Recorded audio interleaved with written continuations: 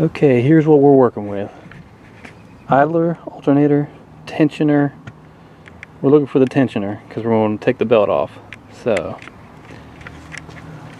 as we look at the engine, so it says it's right below the idler and bottom right to the alternator. So, zooming out. Okay. There's the alternator right there.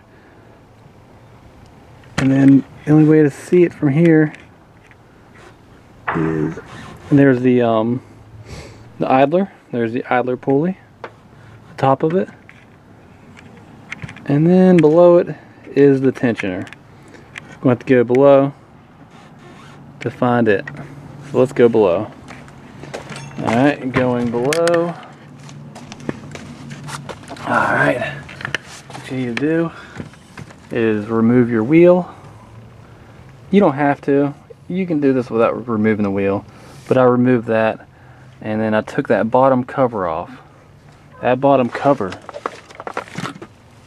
looks like this. Oop. Oops. That's the bottom cover. Take that out. Just 10 millimeter. It's that bolt. I got that screw hanging in there. And then there's the other one. It's just hanging on there. That way I don't lose it. But you take the, that cover off. And then, see, see, you can just take this off. Anyway, it's up underneath there and it's a 13 millimeter. So, get your 13 millimeter. Get that ready. All right. And you're going to go up underneath. Let me show you. Let me show you. Okay, I got the 13 millimeter wrench. I got the box end off on on the um, fastener. You can see it hanging right there, the silver part, and there's the oil filter behind it. But it's up there. It's hanging on it, and I. I all right. Okay. Now, here's what it looks like. So follow the wrench up, and it's right on that pulley. 13 millimeter and you're going to want to turn it clockwise. Turn it clockwise to loosen it. Clockwise will loosen it, and you get a helper, or try it yourself with your other hand. Pull the belt off, and then remember how it goes back on. Refer to your diagram, whether it be on the vehicle. Refer to this diagram right here, and it'll tell you Oh, it just killed a spider. Oops. So idler, alternator, tensioner. Tensioner is what you're looking for. Water pump, crankshaft, AC, and power steering. Those are all the pulleys on this vehicle. So tensioner, you want to clockwise loosen it. And then just remember how that, see how that pulley goes on there. Just remember all the which way it goes on there. This one has an AC, so it'll go down like that. Go up and around like that. And to get it back on, you gotta tension it, put it on there, detension it, put it on there, and then let go. So I'm gonna do that right now. I'm gonna take it off. So here. Okay, that's a little tricky to do with one person, but I'm holding my left hand is pushing and then this belt just barely came off. Like you have to go all the way, you're clockwise, you're pulling it clockwise, and then just barely you have enough leverage to, you kind of have to peel it off. Peel off the belt. So, and then let go. And you can take, take the belt off.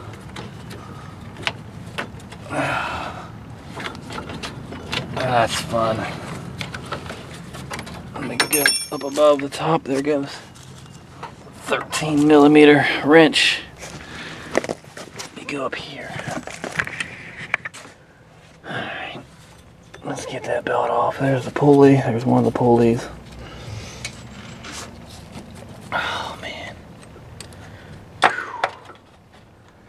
crazy out. Just kind of push the belt off. Just work work with it. I'm gonna push it all to the, to the ground. There we go. All right, let's look at that belt. Let's look at it. Look at that. You want to inspect your belt.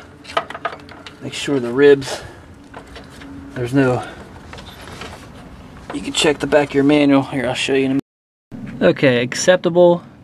There's cracks running across V portion of belt. That's acceptable.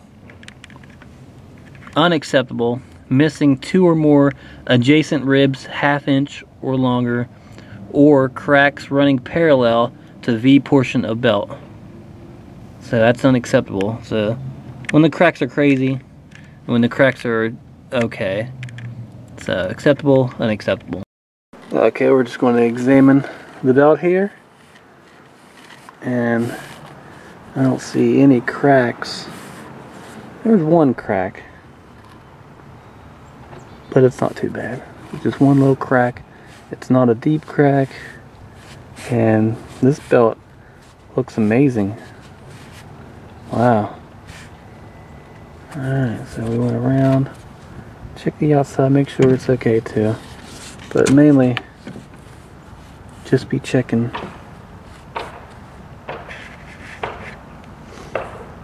Man. Looking for cracks. Looking for it to be horrible. Alright, this belt's looking good. Alright, that's how you remove it. And let's go. Okay, there are various ways to install this, but a little trial and error won't hurt. So I just, I'm just snaking it all, snaking it all down in there, and going this part goes over top of that part, 'cause that's what the diagram shows, over top of the power steering. Just want to snake it all over. I'm gonna go from below because that's where it came off at. So I'm gonna go below and get it all put together. Okay, so it's like a I'm gonna go over the alternator, underneath the idler, and then over the power steering, underneath the AC, underneath the crankshaft, and then this part, this model does a a loop to loop around the water pump and then underneath the tensioner. So the last part you want to be coming out is you want it to be loose at the crankshaft because that's it's easy to access right here. So whenever I go to put it clockwise to tighten it, I mean to loosen it, it'll detension it and I'll be able to slip it slip it on there and then let go and it'll tension back up. Easier said than done because it it's just a, a barely it's a barely fit. It barely fits. So right now I need get it to go up, up and around the tensioner. I need to go I mean uh, up and around the water pump, up and around the water pump and down around the tensioner. So I'm gonna do that. Okay, so this is how much room you got to work with. This is gotta, this part's gotta go over here. So that the belt's got to go underneath underneath here. That's how much you got you have to work with. I have it all set up, all routed. The belt's routed all right. Now I need to go up in there, tighten the tensioner, loosen the tension bolt and it'll give you enough give me enough play to to get in there. So see how see how they go. Alright. Okay, I got that on there. Let me get you all set up. Oh. Let me get you all set up in here. So there. There, it's loosened. Oh, you're gonna have a lot of trial and error. All right, I gotta get put that back up on the. Uh, what? Let's try again.